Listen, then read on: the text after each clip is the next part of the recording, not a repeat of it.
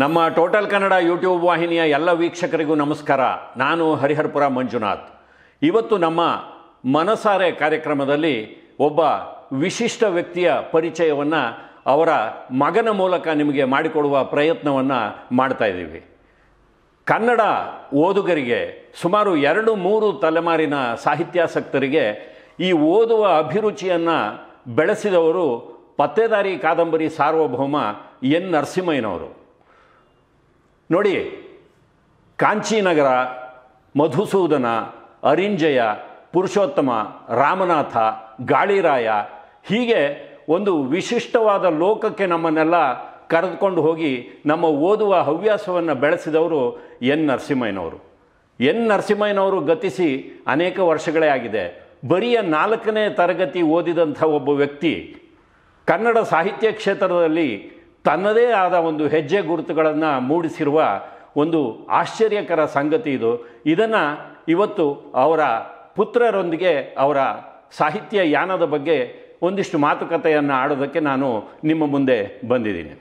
ನನಗೆ ಎನ್ ನರಸಿಂಹಯ್ಯನವರ ಕುಟುಂಬದೊಂದಿಗೆ ಸುಮಾರು ಐವತ್ತು ವರ್ಷಗಳ ಒಡನಾಟ ಇದೆ. ಇಲ್ಲಿ ಇವತ್ತು ನಿಮಗೆ ನಾನು ಪರಿಚಯಿಸ್ತಾ ಇರುವ ವ್ಯಕ್ತಿ ನನ್ನ ಒಂದು ರೀತಿಯ ಯೌವನದ ಸ್ನೇಹಿತರು. ನಾವಿಬ್ಬರು ಹೋಗೋ ಬಾರೋ ಎನ್ನುವಂಥ ಸ್ನೇಹಿತರು, ಆದರೆ ಇಲ್ಲಿ ಎನ್ ನರಸಿಂಹಯ್ಯನವರ ಗೌರವಾರ್ಥವಾಗಿ ಹಾಗೂ ವೀಕ್ಷಕರಿಗೆ ಕಿರಿಕಿರಿ ಆಗಬಾರ್ದು ಎನ್ನುವ ಒಂದು ಕಾರಣಕ್ಕೆ ನಾನಿಲ್ಲಿ ಅವರನ್ನು ಬಹುವಚನದಲ್ಲಿಯೇ ಮಾತನಾಡಿಸಬೇಕಾಗಿದೆ ಒಂದು ಶಿಷ್ಟಾಚಾರದ ಕ್ರಮವಾಗಿ. ನೋಡಿ ನಾವೆಲ್ಲರೂ ಆನಾಕರು, ತಾರಾಸು, ಭೈರಪ್ಪ ಇವರನ್ನೆಲ್ಲ ಸಾಹಿತ್ಯ ದಿಗ್ಗಜರು ಅಂತ ಕರಿತೀವಿ. ಖಂಡಿತವಾಗಿಯೂ ಅವರ ಸ್ಥಾನ ಅವರಿಗೆ ಕನ್ನಡ ಸಾಹಿತ್ಯ ಕ್ಷೇತ್ರದಲ್ಲಿ ಇದೆ. ಆದರೆ ನನ್ನದೇ ಅನುಭವವನ್ನು ಹೇಳಬೇಕು ಅಂದರೆ, ನಾವು ಆನಾಕ್ರು, ಭೈರಪ್ಪ, ಶಿವರಾಮ್ ಕಾರಂತರು ಇವ್ರನ್ನೆಲ್ಲ ಓದೋದಕ್ಕೆ ಮೊದಲು ಸಾಹಿತ್ಯ ಕ್ಷೇತ್ರಕ್ಕೆ ಎಂಟ್ರಿ ಪಡೆದಿದ್ದೇ ಎನ್ ನರಸಿಂಹಯ್ಯನವರ ಭಯಂಕರ ಬೈರಾಗಿ ಕೆರಳಿದ ಕೇಸರಿ ಈ ಕೃತಿಗಳನ್ನು ಓದಿಕೊಂಡು. ಹಾಗೆ ಹಲವು ತಲೆಮಾರಿನ ಓದುಗರನ್ನು ಸಾಹಿತ್ಯದ ಕಡೆಗೆ ಆಕರ್ಷಿಸಿದಂಥ ಅಪರೂಪದ ವ್ಯಕ್ತಿತ್ವ ನಮ್ಮ ನರಸಿಂಹಯ್ಯನವ್ರದ್ದು ಅವರ ಜೀವನದಲ್ಲಿ ತುಂಬ ರೋಚಕವಾದ ಘಟನೆಗಳಿದೆ. ಅದೆಲ್ಲವನ್ನು ನಮ್ಮ ಸ್ನೇಹಿತರಾದಂಥ ಬಿ ಎನ್ ಮಹಾದೇವ್ ಅವರು ನರಸಿಂಹಯ್ಯನವರ ಹಿರಿಯ ಪುತ್ರರು ಅವರು ಈಗ ನನ್ನ ಜೊತೆ ಮಾತುಕತೆಯ ಮೂಲಕ ನಿಮಗೆ ಪರಿಚಯ ಮಾಡಿಸ್ತಾ ಇದ್ದಾರೆ. ನಮಸ್ಕಾರ ಅವರಿಗೆ. ನಿಮ್ಮ ತಂದೆಯವರ ಬಗ್ಗೆ ಇವತ್ತು ಕನ್ನಡ ಓದುಗರಿಗೆ ಬಹಳಷ್ಟು ಓದುವ ಹವ್ಯಾಸವನ್ನು ಕಲಿಸಿಕೊಟ್ಟವರು ನಿಮ್ಮ ತಂದೆಯವರು. ಅವರ ಬಗ್ಗೆ ನಿಮ್ಮಿಂದಲೇ ಅವರ ಪರಿಚಯವನ್ನು ಮತ್ತೊಮ್ಮೆ ಕನ್ನಡಿಗರೇ ಮಾಡಿಸೋಣ ಅಂತ ಒಂದು ಪ್ರಯತ್ನವಾಗಿ ನಾವು ನಿಮ್ಮನ್ನು ಇಲ್ಲಿ ಕರೆಸಿದ್ದೀವಿ ದಯವಿಟ್ಟು ನಿಮ್ಮ ತಂದೆಯವರ ಬಗ್ಗೆ ನಿಮ್ಮ ಅನುಭವಗಳು ಅವರು ಬರವಣಿಗೆಯನ್ನು ಹೇಗೆ ಪ್ರಾರಂಭ ಮಾಡಿದ್ರು ಹೇಗೆ ಮುಂದುವರಿಸಿದ್ರು ಈ ರೋಚಕ ಘಟನೆಗಳನ್ನೆಲ್ಲ ನಮ್ಮ ವೀಕ್ಷಕರ ಜೊತೆಯಲ್ಲಿ ಹಂಚ್ಕೋಬೇಕು ಅಂತ ಕೇಳ್ಕೊತೀನಿ. ನಮ್ಮ ತಂದೆಯವರು ಎನ್ ನರಸಿಂಹಯ್ಯ ಅಂತ ಏನು ಹೇಳಿದ್ರೆ ನನ್ನ ಹೆಸರು ಬಿ ಎನ್ ಮಹಾದೇವ್. ಹ್ಞೂ ಅವರ ತಂದೆಯವರ ಹೆಸರು ಸಿ ನಂಜಪ್ಪ ತಾಯಿಯವರ ಹೆಸರು ಯಲ್ಲಮ್ಮ ಅಂತ. ಅವರ ಜನನ ಹದಿನೆಂಟು ಒಂಬತ್ತು ಸಾವಿರದ ಒಂಬೈನೂರ ಇಪ್ಪತ್ತೈದರಲ್ಲಿ ಬೆಂಗಳೂರಿನಲ್ಲೇ ಜನನ ಆಯಿತು ಅವರ ತಂದೆಯವರಿಗೆ ಇವರು ಎರಡನೇ ಮಗ. ಇವರ ಒಟ್ಟು ಆರು ಜನ. ಆರು ಜನರಲ್ಲಿ ಒಬ್ಬರು ತಂಗಿ ಅಣ್ಣ ಒಬ್ಬರು ಮತ್ತು ಮೂರು ಜನ ತಮ್ಮಂದರು. ಈಗ ಅವರು ಯಾರೂ ಇಲ್ಲ. ನಮ್ಮ ಚಿಕ್ಕಮ್ಮವ್ರು ಒಬ್ಬರೇ ಬದುಕಿರೋದು ಅವರೊಬ್ಬರೇ ದೊಡ್ಡ ಹಿರಿದಲೆ ಅಂತ ಹೇಳ್ತಾ ಇರೋದು. ಇವರ ಬಾಲ್ಯಾವಸ್ಥೆ ಬೆಂಗಳೂರಿನಲ್ಲೇ ಪ್ರಾರಂಭ ಆಯಿತು. ಪ್ರಾರಂಭ ಇವರು ಗಣೇಶ ಸ್ಕೂಲ್ ಸುಲ್ತಾನಪೇಟೆ ಬೆಂಗಳೂರು. ಅಲ್ಲಿ ಇವರ ಪ್ರೈಮರಿ ಸ್ಕೂಲ್ಗೆ ಸೇರ್ಪಡೆಯಾಗಿ ನಾಲ್ಕನೇ ಕ್ಲಾಸ್ನವರೆಗೂ ಓದ್ತಾ ಇದ್ರು. ಆಗ ನಮ್ಮ ತಾತನವರ ದುರ್ಮರಣ ಆಯಿತು. ಅವರ ವಿದ್ಯಾಭ್ಯಾಸ ಅಲ್ಲಿಗೆ ಮೊಟಕಾಯಿತು. ಆನಂತರ ಆ ನಂತರ ಅವರು ತಮ್ಮ ಚಿಕ್ಕಪ್ಪ ಅವರ ಆಶ್ರಯದಲ್ಲಿ ಹೋದರು. ಆ ಒಂದು ಒಟಾರದ ಮನೆ ಅದು. ಸರಿ. ಆ ಒಟಾರದ ಮನೆಯಲ್ಲಿ ಇವ್ರದ್ದು ಕೊನೆಯ ಮನೆ. ಆ ಕೊನೆಯ ಮನೆಯಲ್ಲಿ ಇವ್ರು ಕಡು ಬಡತನ. ಅಂಥದ್ದು ಇವರು ಏನಾದ್ರು ಆ ವಟಾರದಲ್ಲಿ ಮನೆಗೆ ಹೋಗ್ಬೇಕು ಅಂತ ಹೇಳಿದ್ರೆ ಹಲವಾರು ಮನೆಗಳನ್ನು ದಾಟ್ಕೊಂಡೆ ಹೋಗ್ಬೇಕು. ಅಂಥದ್ರಲ್ಲಿ ಅವರು ಇವ್ರನ್ನ ನೋಡಿದ್ರೆ ನೋಡ್ದು ನೋಡದೇ ಇರೋ ಥರ ನಟಿಸ್ತಾ ಇದ್ರು. ಕಾರಣ ಏನು ಅಂದ್ರೆ ಎಲ್ಲಿ ಊಟಕ್ಕೆ ಬಂದ್ಬಿಡ್ತಾರೋ ನಮ್ಮ ಮನೆಗೆ ಅನ್ನೋ ಒಂದು ಭಾವನೆಯಲ್ಲಿ ಅಂತಹ ಕಷ್ಟದ ಜೀವ ಜೀವನ ಎಲ್ಲ ನಡೆಸಿದ್ರು. ಸುಮಾರು ಆರು ತಿಂಗಳಾದ್ಮೇಲೆ ಅವ್ರ ಚಿಕ್ಕಪ್ಪ ಕೂಡ ಮೃತರಾದರು ಇವ್ರಿಗೆ ಬೇರೆ ವಿಧಿ ಇರಲಿಲ್ಲ. ಕೊನೆಗೆ ಸಿದ್ದಪ್ಪ ಅಂತೇಳಿ ನಮ್ಮ ತಂದೆಯವರ ಸೋದರ ಮಾವ ನಮ್ಮ ಅಜ್ಜಿಯವರ ತಮ್ಮ. ಅವರು ಮೂಲ ಸ್ಥಾನ ಬಂದ್ಬಿಟ್ಟು ಚಿಕ್ಕಮಗಳೂರು. ಅವರು ಬಲವಂತದ ಮೇರೆಗೆ ಇವರು ತಮ್ಮ ಕಂಪ್ಲೀಟ್ ಕುಟುಂಬದವರ ಸಮೇತ ಚಿಕ್ಕಮಂಗ್ಳೂರಿಗೆ ಹೋಗಿ ನೆಲೆ ಹಾಕ್ತಾರೆ. ಅಲ್ಲಿ ಜೀವನೋಪಾಯಕ್ಕೆ ಏನಾದ್ರು ಮಾಡಬೇಕಲ್ಲ ಅಲ್ಲಿ ಕಲೀಲ್ ಗ್ಯಾರೇಜ್ ಅನ್ನುವ ಒಂದು ಗ್ಯಾರೇಜ್ನಲ್ಲಿ ನಲ್ಲಿ ಕ್ಲೀನರ್ ಆಗಿ ಅದಕ್ಕೆ ಗ್ಯಾರೇಜ್ ಕೆಲ್ಸಕ್ಕೆ ಸೇರ್ಕೋತಾರೆ. ಅಸಿಸ್ಟೆಂಟ್ ಅಲ್ಲಿ ಅಲ್ಲಿ ಅವ್ರು ಕೆಲಸ ಕಲ್ತ್ಕೊಂಡು ಏನೋ ಒಂದು ಇದು ಮಾಡ್ತ ಕೆಲಸ ಮಾಡ್ಕೊಂಡಿರ್ಬೇಕಾದ್ರೆ ಅಲ್ಲಿ ಏನೋ ಇದಾಗುತ್ತೆ ಅದು ಬಿಟ್ಬಿಟ್ಟು ಇನ್ನೊಂದು ಗ್ಯಾರೇಜ್ಗೆ ಹೋಗಿ ಸೇರ್ಕೋತಾರೆ. ಅಲ್ಲೂ ಕೂಡ ಮೆಕ್ಯಾನಿಕ್ ಆಗಿ ಏನು ಕೆಲಸ ಮಾಡ್ಕೊಂಡಿರ್ತಾರೆ. ಜೀವನೋಪಾಯಕ್ಕೆ ತಿಂಗಳಿಗೆ ಎರಡು ರೂಪಾಯಿ ಸಂಬಳ ಸಿಗ್ತಾ ಇರುತ್ತೆ. ಆ ಎರಡು ರೂಪಾಯಿನಲ್ಲೇ ಇವ್ರು ಏನಾದ್ರು ಒಂದು ಜೀವನ ಮಾಡಬೇಕು ಅಂತ ಒಂದು ಪರಿಸ್ಥಿತಿ. ಸರಿ. ಅದೇ ಸಮಯದಲ್ಲಿ ಇವರಿಗೆ ಕೈಗಾರಿಕಾ ಪಾಠಶಾಲೆಯಲ್ಲಿ ತರಬೇತಿಗೆ ಸೇರಿಸ್ತಾರೆ. ತರಬೇತಿಗೆ ಸೇರಿಸಿದಾಗ ಅಲ್ಲಿ ಸ್ಟೈಫಂಡ್ ಅಂತ ಸಿಗುತ್ತೆ. ಆ ಸ್ಟೈಫಂಡ್ ಜೊತೆಗೆ ಇವರು ಈವ್ನಿಂಗ್ ಅಂದರೆ ಕೆಲಸ ಅದನ್ನು ಟ್ರೈನಿಂಗ್ ಮುಗಿಸ್ಕೊಂಬಂದು ಮತ್ತೆ ಗ್ಯಾರೇಜ್ಗೆ ಕೆಲಸಕ್ಕೆ ಹೋಗ್ತಾ ಇದ್ರು. ಅಲ್ಲಿ ತಿರ್ಗಾ ಅವರು ಏನೋ ಒಂದು ಸಂಪಾದನೆ ಮಾಡ್ಕೊಳ್ತಾ ಇದ್ದಿದ್ದನ್ನು ಜೀವನಕ್ಕೆ ಇದು ಮಾಡ್ಕೊಳ್ತಾ ಇದ್ರು. ಈ ಕೈಗಾರಿಕಾ ಪಾಠಶಾಲೆ ತರಬೇತಿ ಮುಗಿಸಿದ ನಂತರ ರೇಣುಕಾ ಮೋಟಾರ್ಸ್ ಆ ಬಸ್ನಲ್ಲಿ ಇವರು ಕ್ಲೀನರ್ ಆಗಿ ಸೇರ್ಕೋತಾರೆ. ಕ್ಲೀನರ್ ಆಗಿ ಸೇರ್ಕೊಂಡು ಕೆಲಸ ಮಾಡ್ಕೊಂಡೆ ಮಾಡ್ಕೊಂಡೆ ಮಾಡ್ಕೊಂಡೆ ಫಸ್ಟ್ ಏಡ್ ಪ್ರಥಮ ಚಿಕಿತ್ಸಾ ಪತಂಜಲಿ ಫಸ್ಟ್ ಏಡ್ ಸರ್ಟಿಫಿಕೇಟ್ನ ತಗೊಳ್ತಾರೆ. ಸರಿ ತಗೊಂಡು ಆ ಬಸ್ಗೆನೆ ಕಂಡಕ್ಟ್ ಆಗಿ ನೇಮಕ ಆಗ್ತಾರೆ ಹಾ ಹಾ ಹಾ. ಆ ಬಸ್ಸು ಆವಾಗ ಚಿಕ್ಕಮಂಗ್ಳೂರು ಟು ಸಕಲೇಶ್ಪುರ ಓಡಾಡೋದು. ಅದು ಚಾರ್ಕೋಲ್ ಬಸ್ ಅಂತ ಹೇಳ್ತಾ ಇದ್ರು. ಇದ್ರದ್ದು ಫ್ಯೂಯಲ್ ಬಸ್ ಒಂದು ಇರೋದು. ಈ ಚಾರ್ಕೋಲ್ ಬಸ್ ಎಲ್ಲಂದಲ್ಲಿ ಕೆಟ್ಟೋಗೋದು ಅದು ಅವ್ರ ಎಕ್ಸ್ಪೀರಿಯನ್ಸ್ ಅದನ್ನು ಹೇಳಬೇಕು ಅಂತ ಹೇಳಿದ್ರೆ. ಅವ್ರ ಘಟನೆಗಳು ಸಿಕ್ಕಾಪಟ್ಟೆ ಇದಾಗುತ್ತೆ. ಬೇಡಿ. ಆ ಇವ್ರು ಬಸ್ ಇದರಲ್ಲಿ ಕಂಡಕ್ಟ್ ಆಗಿ ಕೆಲಸ ಮಾಡ್ಕೊಂಡಿರ್ಬೇಕಾದ್ರೆ ಸಾವಿರದ ಒಂಬೈನೂರ ನಲವತ್ತೇಳರಲ್ಲಿ ಮತ್ತೆ ಬೆಂಗಳೂರು ಬರ್ತಾರೆ. ಇವರು ತಮ್ಮ ತಾತ ಸತಿ ಸಾವಿರದ ಒಂಬ ಮೂವತ್ತಾರರಲ್ಲಿ ನಲವತ್ತೇಳರಲ್ಲಿ ಮತ್ತೆ ಬೆಂಗಳೂರು ಬಂದು ಸೇರ್ತಾರೆ. ಹ್ಞೂ ಬೆಂಗಳೂರು ಬಂದು ಸೇರಿದಾಗ ಇವ್ರಿಗೆ ಬೇರೆ ಜೀವನೋಪಾಯ ಇರಲ್ಲ. ಮತ್ತೆ ಇವರು ಏನಾದ್ರು ಕೆಲಸ ಮಾಡಬೇಕು ಅಂದಾಗ ಅನಿರೀಕ್ಷಿತವಾಗಿ ಹಳೆ ಡ್ರೈವರ್ ಒಬ್ಬನ ಮೀಟ್ ಆಗ್ತಾರೆ ಇವರು. ಮೀಟ್ ಆದಾಗ ಅವ್ರನ್ನ ಕೇಳ್ತಾರೆ. ಏ ಹಿಂಗೆ ಈ ಥರ ಇದಾಗಿದೆಯಪ್ಪ ನನ್ನ ಪರಿಸ್ಥಿತಿ ಅಂದಾಗ ಬಾ ಕ್ಲೀನರ್ ಆಗಿ ಕೆಲಸಕ್ಕೆ. ಮತ್ತೆ? ಮತ್ತೆ ಕ್ಲೀನರ್ ಆಗಿ ಸೇರ್ಕೋತಾರೆ. ಸರಿ. ಸೇರ್ಕೊಂಡ್ರೆ ನಲ್ವತ್ತೆಂಟರಲ್ಲಿ ಇವರು ಮದುವೆ ಆಗುತ್ತೆ. ನಾಗರತ್ನ ಮತ್ತು ನಮ್ಮ ತಾಯಿಯವರ ಹೆಸರು ಮದುವೆ ಆಗುತ್ತೆ. ಮದುವೆ ಆದರೂ ಕೂಡ ಇವರು ಎರಡು ದಿನ ಮೂರು ದಿನ ಈ ಲಾರಿ ಜೊತೆಗೆ ಹೋಗ್ಬಿಟ್ರೆ ಬರ್ತಾನೆ ಇರಲಿಲ್ಲ. ಈ ಸಂಸಾರನೂ ನೋಡಬೇಕು ಈ ಕಡೆ ಇದನ್ನು ನಡೆಸಬೇಕು ಅಂದಾಗ ಇವಾಗ ಲಾರಿ ಕ್ಲೀನರ್ ಬೇಡ ಬೇರೆ ಏನಾದರೂ ಒಂದು ಮಾಡಬೇಕು ಅನ್ನೋದು ಇವ್ರದ್ದು ಮನಸ್ಸಲ್ಲಿ ಬರುತ್ತೆ. ಇವ್ರು ಯ- ಅಭ್ಯಾಸ ಏನು ಅಂದರೆ ಯಾವುದೇ ಊರಿಗೆ ಹೋಗಲಿ ಈ ಸೆಕೆಂಡ್ ಹ್ಯಾಂಡ್ ಬುಕ್ಸ್ಗಳು ಹೋಗೋದು ಅಲ್ಲಿ ಬುಕ್ಸ್ಗಳನ್ನ ತಗೊಳ್ಳೋದು ಓದೋದು ಇದು ಅಭ್ಯಾಸ ತುಂಬ ಅವ್ರಿಗೆ. ಅವ್ರೇನು ನಮಗೂ ಬಂದುಬಿಟ್ಟಿದೆ. ಅದು. ಈ ಅಭ್ಯಾಸದಿಂದ ಏನಾಯಿತು ಅವ್ರಿಗೆ ಈ ಏನೋ ನಾನು ಬುಕ್ಸನ್ನ ಇದು ಮಾಡ್ಬೇಕು ಒಂದು ಚಿಕ್ಕದಾಗಿ ಲೈಬ್ರರಿ ಥರನ ಮಾಡಿಕೊಂಡ್ರು. ಆ ನಂತರ ಈ ಜಲಶಿಲ್ಪಿ ಹಲ್ಲಿ ಸಕ್ಕುನ ಇಂಥ ಬುಕ್ಸ್ಗಳನ್ನ ತಗೊಳ್ಳೋದು ಆಮೇಲೆ ತೂಕದ ಯಂತ್ರ ಒಂದು ತಗೊಂಡ್ರು ತೊಗೊಂಡು ಜಾತ್ರೆಗಳಿಗೆ ಹೋಗೋದು ಸಂತೆಗೆ ಹೋಗೋದು. ಅಲ್ಲಿ ಮೂರು ಕಾಸು ಆರು ಕಾಸಿಗೆ ತೂಕ ನೋಡ್ಸೋದು ಈ ಬುಕ್ಸ್ಗಳು ಮಾರೋದು ಇದೆಲ್ಲ ಪ್ರಾರಂಭ ಮಾಡಿ ಸ್ವಂತ ಉದ್ಯೋಗ ಸ್ವಂತ ಉದ್ಯೋಗ ಮಾಡ್ಕೊಂಡ್ರು. ಈ ಟಿ ನಾರಾಯಣ ಹೆಂಗಾರ ಅಂತ ಬಳೆಪೇಟೆಯಲ್ಲಿ ಅವ್ರ ಬುಕ್ ಅಂಗಡಿಯಲ್ಲಿ ಪುಸ್ತಕಗಳು ಪರ್ಚೇಸ್ ಮಾಡ್ಕೋತಾರೆ ಅವ್ರ ಹತ್ರ ಸ್ವಲ್ಪ ಪತ್ತೆರೆ ಪುಸ್ತಕನ ತೊಗೊಂಡು ಇವರು ಮಾರಾಟಕ್ಕೆ ನಿಂತ್ಕೊಂಡ್ರು. ಈ ನೋಡಿದ್ರು ಇವ್ರಿಗೆ ನಾನು ಯಾಕೆ ಬರಿಬಾರ್ದು ಅನ್ನೋ ಒಂದು ಉತ್ಸಾಹ ಬಂತು. ಅವರು ಹೋಗಿ ನಾರಾಯಣ ಹೆಂಗಾರವ್ರನ್ನ ಕೇಳ್ಕೊಂಡ್ರು. ಸ್ವಾಮಿ ನಾನು ಬರ್ಕೊಡ್ತೀನಿ. ಪಬ್ಲಿಷ್ ಮಾಡ್ತೀರಾ ಅಂತ. ಅವರು ಈ ನರ್ಸಿಂಗ್ ನೀನೇನು ಬರ್ಕೊಡ್ತೀಯಪ್ಪ? ಬರ್ಕೊಡೆ ನೋಡೋಣ. ಅನ್ನೋ ಥರ ಒಂಥರ ಉದಾಸೀನವಾಗಿ ಮಾತಾಡೋರು. ಇವರು ಆಗ ಸಾವಿರದ ಒಂಬೈನೂರ ಐವತ್ತೆರಡರಲ್ಲಿ ಉದಯವಾಯಿತು ಪತ್ತೇದಾರ ಪುರುಷೋತ್ತಮ. ಪುರುಷೋತ್ತಮನ ಮೊದಲನೇ ಸಾಹಸ ಪ್ರಾರಂಭ. ಅದನ್ನು ಬರೆದು ಕೊಟ್ಟರು ಅವರು ಅವ್ರು ನೋಡಿದ್ರು ಓದೋದು ಸಂತೋಷ ಆಯಿತು ಪಬ್ಲಿಷ್ ಮಾಡಿದ್ರು. ಚೆನ್ನಾಗಿ ಖರ್ಚು ಆಯಿತು. ಖರ್ಚಾಗಿದ ತಕ್ಷಣ ಇನ್ನೊಂದು ಬರ್ಕೊಡಪ್ಪ ಅಂದರು. ಬರ್ಕೊಟ್ರು. ಏಳನೇ ಸಾಹಸ ಭಯಂಕರ ಬೈರಾಗಿ. ಅದು ಸುಮಾರು ಒಂದು ಮೂವತ್ತು ಸಾವಿರ ಪ್ರತಿ ಮಾರಾಟ ಆಗಿದೆ. ಅದನ್ನು ಬರ್ಕೊಟ್ಟಾದ್ಮೇಲೆ ಅವ್ರು ಪೂರ್ತಿ ಹಕ್ಕಿನ ಸಮೇತ ಬರ್ಕೊಟ್ಬಿಟ್ಟಿದ್ದಾರೆ. ಹಾ ಹಾ. ಹತ್ತು ಪುಸ್ತಕ ಸುಮಾರು ಬರ್ಕೊಟ್ರು. ಬರ್ಕೊಟ್ಟಾದ್ಮೇಲೆ ಆನೆ ಹನ್ನೊಂದನೇ ಪುಸ್ತಕಕ್ಕೆ ಇವರು ನೋಡಪ್ಪ ನಮ್ಗೆ ಈ ಜೀವನಕ್ಕೆ ಏನಾದ್ರು ಒಂದು ಬೇಕು. ನಂಗೆ ಒಂದು ಇಪ್ಪತ್ತೈದು ರೂಪಾಯಿ ಒಂದು ಬುಕ್ ಕೊಡಿ ಅಂದರು. ರಾಯಲ್ಟಿ ರಾಯಲ್ಟಿ ಕೇಳಿದ್ರು ಇಪ್ಪತ್ತೈದು ರೂಪಾಯಿ. ಇಪ್ಪತ್ತೈದು ರೂಪಾಯಿ ಅದು ಸಾವಿರದ ಒಂಬೈನೂರ ಐವತ್ತೆರಡರಲ್ಲಿ. ಆ ಕಾಲಕ್ಕೆ. ಹ್ಮ್.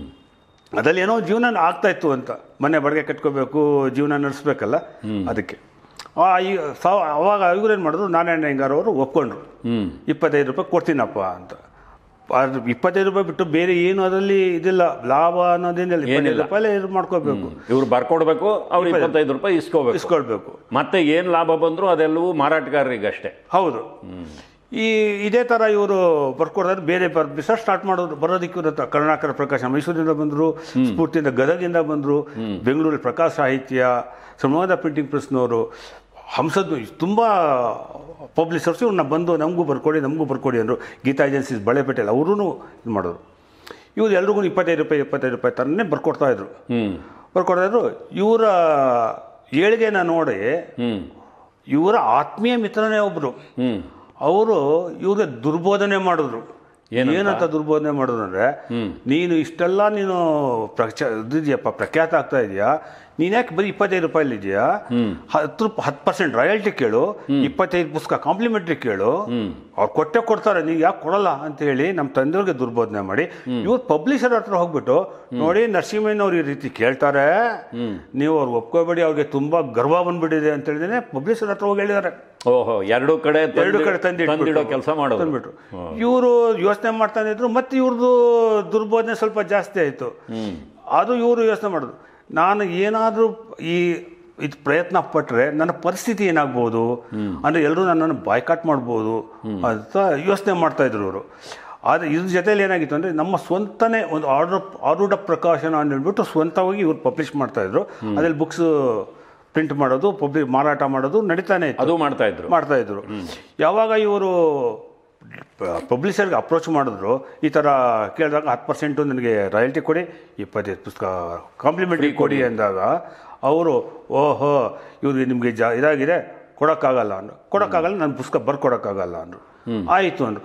ಇವರು ಎಲ್ಲರೂ ಪಬ್ಲಿಷರ್ಗೆ ಇದೇ ಥರ ಹೇಳಿದ್ರಲ್ಲ ಪ್ರತಿಯೊಬ್ಬರೂ ಕೂಡ ಇವ್ರಿಗೆ ರೆಫ್ಯೂಸ್ ಮಾಡಿದ್ರು. ಇವ್ರು ಧೈರ್ಯ ಗೆಡಲಿಲ್ಲ ಆದರೂ ಕೂಡ ಇವ್ರು ಛಲ ಜಾಸ್ತಿ ಆಯಿತು. ಇವ್ರು ಸ್ವಂತ ಪಬ್ಲಿಕೇಶನಲ್ಲೇ ಬುಕ್ಸ್ನ ಪ್ರಿಂಟ್ ಮಾಡೋದು ಮಾರಾಟ ಮಾಡೋದು ಸ್ಟಾರ್ಟ್ ಮಾಡಿದ್ರು. ಸರಿ. ಸ್ಟಾರ್ಟ್ ಮಾಡಿದ್ರು ಜೀವನ ಹೆಂಗೋ ನಡ್ಕೊಂಡು ಹೋಗ್ತಾ ಇತ್ತು. ಸಾವಿರದ ಒಂಬೈನೂರ ಅರವತ್ತೆರಡರಲ್ಲಿ. ಅದು ಒಂದು ಟರ್ನಿಂಗ್ ಪಾಯಿಂಟ್ ಅಂತಲೇ ಹೇಳ್ಬೋದು ನಾವು.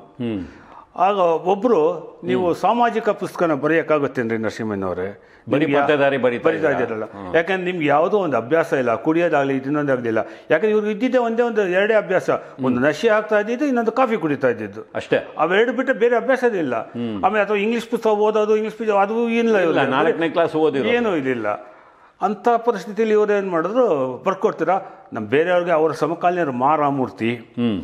ಬಿ ಕೆ ಸುಂದರರಾಜು ಇವರ ಸಮಕಾಲೀನರು. ಹೌದು. ಅವರೆಲ್ಲ ಸ್ವಲ್ಪ ಅಭ್ಯಾಸಗಳು ಇತ್ತು. ನಾನು ಅದನ್ನು ಹೇಳಬಾರ್ದು. ಇತ್ತು. ಅವರು ಎಲ್ಲ ಇದು ಮಾಡಿದ್ರೆ ನೀವೇ ಬರಿತೀಯ ಅಂದರು. ನಾನು ಬರಿತೀನಿ ನೋಡಪ್ಪ ಅಂದರು. ಬರೀಯಪ್ಪ ಅಂದರು. ಆ ಟೈಮ್ ಮುತ್ತುಗದ ಹೂವು ಅಂತ ಹೇಳಿದ್ರೆ ಒಂದು ಪುಸ್ತಕನ ಅವರು ಒಂದು ಇದ್ರಲ್ಲಿ ಪ್ರಜಾಮತನ ಕನ್ನಡ ನಾನು ಬರ್ತಿದ್ದೀನಿ. ಅದರಲ್ಲಿ ಧಾರಾವಾಹಿ ಅದನ್ನೇ ಒಂದು ಕ್ರೋಢೀಕರಿಸಿ ಬುಕ್ಕನ್ನು ಪ್ರಿಂಟ್ ಮಾಡಿಸಿದ್ರು.